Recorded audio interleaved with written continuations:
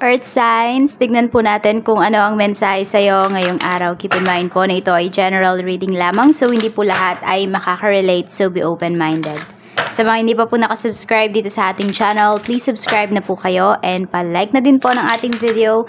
At sa mga nais naman pong mag-avail ng ating private readings, makikita nyo po yung link sa description box below. Tarot Intentions by Aliana Reyes. Tignan po natin kung ano ang mensahe sa'yo. We have Joy, number 42. Kasiyahan. Okay, pwedeng mayroon ditong Meron ba kayong mga occasions na pupuntahan or meron kayong occasions na pinaghahandaan? We have truth. Okay. May katotohanan dito. Earth signs na pag nalaman nyo talaga, magiging masaya kayo. Mm-mm. We have grounding. Bakit? Kasi pwedeng bago mo pa malaman yung bagay na to or bago pa may magsabi sa'yo ng bagay na to, accepted mo na talaga siya. Pwedeng nafe-feel mo na talaga yung yung news niya, news na yon, okay? Or yung basta meron yung iba kasi inyo pwedeng may visions kayo, ganyan. So parang bago pa magsabi yung isang tao, feel mo na na meron siyang sasabihin, it's either maganda ba yon or hindi. So, ayan po, meron dito na talaga namang truth, okay? Truth, magiging truthful sa'yo yung isang tao and magiging happy ka.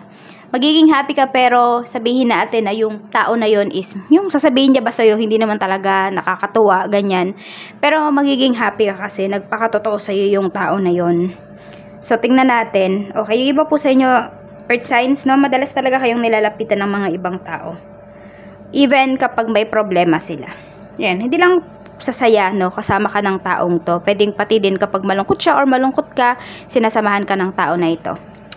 Tignan natin, okay? So, we have grounding. So, kahit nasabihin natin, uh, earth signs, malaki na yung kinikita mo, iba na yung, you know, iba na yung ways ng pamumuhay mo, hindi ka pa rin nakakalimot. Tignan natin. So, ano pa po ang mensahe para sa'yo? So, we have number 42, 12, and 36. Your lucky number. Tignan pa po natin ano pa ang mensahe para sa'yo. Mensahe pa po natin, Spirit Guide for Earth Signs. Taurus, Virgo, Capricorn, Sun, Moon, Rising, and Venus. We have Emotional healing. As your heart heals of old emotional pain, you receive new blessings and love. Ayun nga. Kasi nga 'di ba, yung katotohanan na 'to, ito talaga yung magbibigay ng freedom sa iyo. Earth signs and magiging happy ka talaga. Okay? Nandoon yung yung ano ba, contentment nandoon din. Mararamdaman mo din siya. Pwede ngayong araw maramdaman mo 'yan na hindi naman pala pangit yung life mo you are just contented kung ano man yung mayroon ka. Siguro kasi nako-compare ng ibang tao ha, yung life nila sa'yo. So, sila pa yung nagko-compare, no? So, parang ayun, sila, hindi sila satisfied sa life mo. Malamang kasi hindi naman nila nararanasan, hindi nila nararamdaman yung nararamdaman mo, earth sign. So, talaga kahit tignan nila yan magdamag yung life mo. Kahit bantayan ka nila 24-7, hindi talaga nila ma-appreciate yung life mo. Kasi ikaw lang yung makaka-appreciate niyan earth signs, we have do some research. Okay, so kung meron naman kayo ditong um, sabi natin, mga facts na gusto talagang uh, malaman. So, you do your research daw. Yun yung sinasabi sa'yo. So, wag ka lang din naman, earth signs, makikinig sa mga sinasabi ng ibang tao. So, you do your own research. Yun yung pinaka-importante. Para kunwari, meron kang gagawin na decision, hindi yung meron kang may masisisi ka kasi, oy, nakinig ako sa'yo kasi sabi mo ganito. So, kung ayaw nyo na may masisi or ayaw nyo na masisi, earth signs, kapag may nanghihingi din ng advice sa inyo, or kung ano man yung hinihingi sa inyo ng taong to, sabihin nyo, mag-research na lang siya. Okay, siya yung maghanap nung hinahanap niya. Okay, at wag siyang mag-depend sa mga sasabihin mo at sa'yo. Ayan, sabi nga dito, you need more information about this situation. Look into it further before proceeding. So, do your research dito sa mga gagawin ninyong steps. Kung meron man kayong mga big purchase na gagawin ngayong araw na ito, you do your research. Yan, pinapaalala talaga yan sa inyo ni Universe. Tignan natin kung ano pa ang mensahe para sa iyo. We have summer. Okay? Everything that you're asking for becomes yours in the summertime. So, pwedeng regarding sa finances to, regarding sa investments ninyo, o meron kayong gagawin ngayon, earth signs, pwedeng uh, sa summertime is ano na siya, parang finalize na siya or kung investment to, pwedeng makukuha nyo na yung uh, return of investments, parang ganyan, sa summertime. Tignan natin, ano pa po ang mensahe, spirit guide? Mensahe pa po natin kay Earth signs, Taurus, Virgo, Capricorn, Sun, Moon, Rising, and Venus. We have, okay, Deep in your heart, you already know the answer. Do what feels right. Okay. Ayan, alam mo naman daw yung gusto mo. Earth signs. Alam mo kung sino yung mahal mo. Alam mo kung ano yung gagawin mo. So, gawin mo. Kung ano yung sa tingin mo makakabuti sa'yo. Tingnan natin. So, minsan 'di ba may mga bagay na makakabuti sa atin pero hindi natutuwa yung ibang tao. So, hayaan nyo sila Basta wala ka namang sinasaktan na ibang tao, you know, wala kang inaapakan dito. So, gawin mo kung ano yung nilalaman ng puso mo. Tingnan natin ano pa po ang mensahe natin, Spirit Guide. We have sometimes I stay awake thinking about you. So, merong isang tao dito na lagi kang iniisip tuwing gabi. Pwedeng may communication naman kayo ng taong to, pero pwedeng hindi niya nasasabi sa'yo yung totoong nararamdaman niya o yung gusto niya bang sabihin. So, parang, alam mo yon parang may walls, parang ang mga pinag-uusapan nyo lang, ang babaw lang, earth sign. So, di, hindi nagiging deep yung mga usapan ninyo. So, meron dito, hindi nagpapakatotoo. Kaya, yun, napupuyat yung taong yun, kakaisip sa'yo na, sana sinabi ko, ang dami niyang what ifs. Tignan po natin ano pa ang mensahe para sa'yo. Spirit Guide, ano pa po ang mensahe natin for Earth Signs, Taurus, Virgo, Capricorn, Sun, Moon, Rising, and Venus ngayong araw na ito. Dalawa yung lumabas. We have heartbroken and we have keys honoring. Some of you, nagstay kayo sa isang situation na nasasaktan kayo. Sinasabi dito ni Universe, ang dami niyong pagpipilian. Ang daming available na tao para sa'yo. Ang dami mong choices. Pero bakit mas pinipili mo earth signs na maging broken?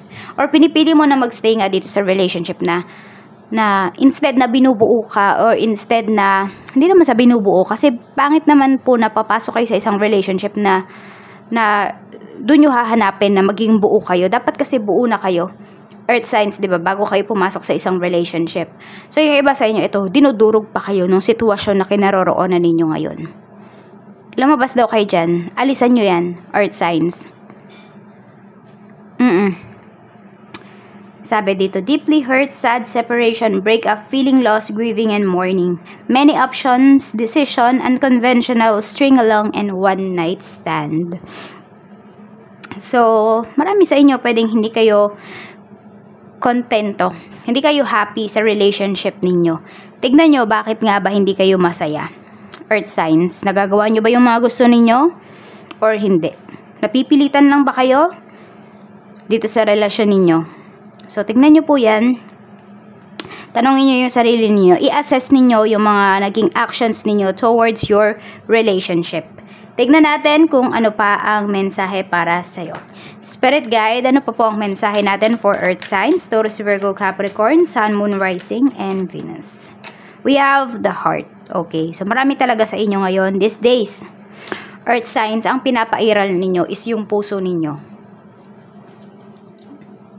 Tingnan natin. We have the clover the fish. Actually, mas madami kayong magigain na money, mas madami kayong magigain na knowledge kapag puso yung pinagana ninyo ngayon. Pag naging compassionate kayo, earth signs. So, ito po, marami sa inyo, ayan, pwedeng nasa dugo, nasa dugo nyo na talaga, hindi nasa puso nyo na talaga, kung wala nagbi-business kayo, earth signs, pwedeng dyan talaga kayo umunlad actually, mas mabilis yung pera sa inyo. Tanongin nyo muna pala yung sarili nyo, Earth Signs. Ano ba yung gusto ninyong gawin? Ano ba yung, sabihin natin, uh, ano ba yung gusto mong gawin sa life mo? Kasi pag nalaman mo yan, okay, at kapag happy ka sa ginagawa mo, susunod dito yung pera. Mas mabilis mo siyang makukuha. Makukuha mo yung stability na hinahanap mo, yung respeto din ng mga tao ayan, makukuha mo siya dito sa gagawin mo na gustong gusto mo talaga. Na tipong kahit na anong mangyari earth signs, sabi natin, kasi 'di ba may mga bagay na hindi naman natin makukuha ng mabilisan yan eh. Paghihirapan natin, may mga challenges diyan, may mga downfall din tayo.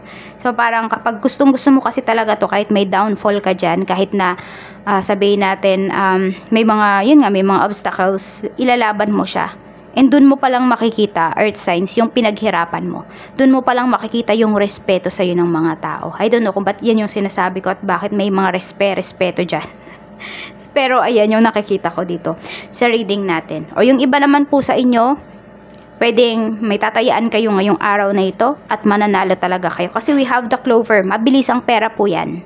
So parang mabilis lang yan na transaction and magkakaroon ka agad kayo ng pera. So ayan lang po yung mensahe sa'yo. Maraming maraming salamat po Earth Signs and see you again on my next video. Bye-bye!